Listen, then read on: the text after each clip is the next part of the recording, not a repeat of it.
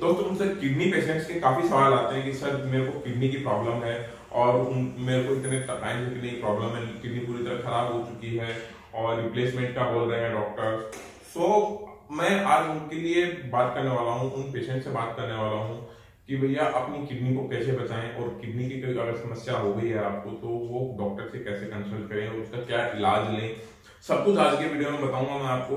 नमस्कार दोस्तों, मैं हूँ डॉक्टर मनीष शर्मा और आप देख रहे हैं आपका अपना यूट्यूब चैनल आयुर्वेदा किंगडम तो दोस्तों, जो किडनी की समस्याएँ होती हैं, वो जो पेशेंट होते हैं, उनको मेनली डायलिसिस पे रखते हैं कुछ लोगों को, क्योंकि उनका यूरिन जो किडनियाँ होती हैं उससे छान नहीं पाती हैं।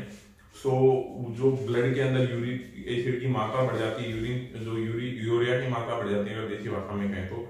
और जो बहुत सी समस्याएँ हो जाती हैं स्ट्रोक है वगैरह बहुत सी समस्याएँ हो जाती हैं और पेशेंट की डेथ भी हो सकती है।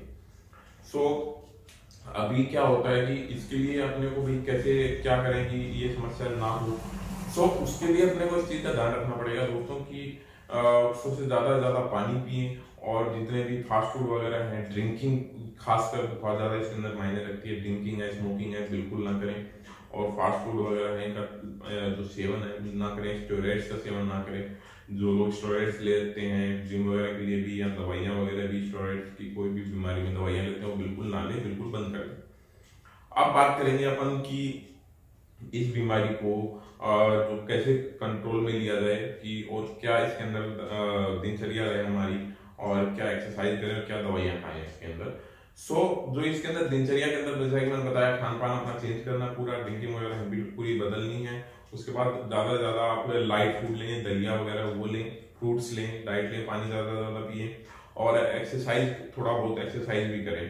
सुबह सुबह मॉर्निंग वॉक हो गया प्राणायाम तो इसके अंदर बहुत ज़्यादा लाभदायक है। ठीक है ये एक्सरसाइज करें।